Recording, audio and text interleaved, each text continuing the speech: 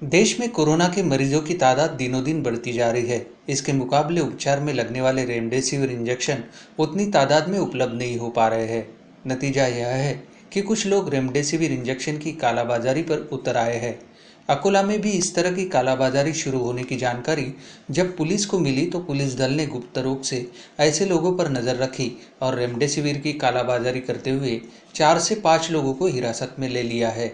स्थानीय अपराध शाखा ने आरोपियों से रेमडेसिविर के तीन इंजेक्शन जब्त किए हैं। यह आरोपी एक इंजेक्शन को पच्चीस हज़ार रुपये में बेचने का सौदा करते हुए पकड़े गए हैं। कालाबाजारी के इस रैकेट में और कौन कौन शामिल है, इस संबंध में पुलिस पूछताछ कर रही है। कोविड एकोणीसच्या अनुषंगाने जो वाढता प्रादुर्भाव आहे, हा लक्षात घेत असता एम रेमडेसिवर हे औषध प्रभावीरित्या काम करते असं लक्षात आल्यानंतर मोठ्या प्रमाणात त्याची मागणी वाढली होती. मागणी वाढल्यानंतर बऱ्याच जणांनी त्याचा काळाबाजार करण्याचा प्रयत्न केला होता. काही टीम अकोला पोलीसच्या लक्षात आल्यानंतर आम्ही गुप्त बातमी ह्याच्यामध्ये काढली आणि एक रॅकेट या ठिकाणी उघड करण्याचा प्रयत्न केलेला आहे.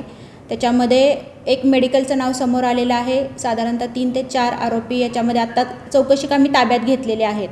रेमडेसिवीरचे किती इंजेक्शन सध्या आमच्याकडे तीन इंजेक्शन जप्त झालेले आहेत. अजून पुढील चौकशी चालू आहे तपास चालू आहे. त्याच्यातून मोठं रॅकेट हातामध्ये आमच्या लागणार अशी शक्यता आहे.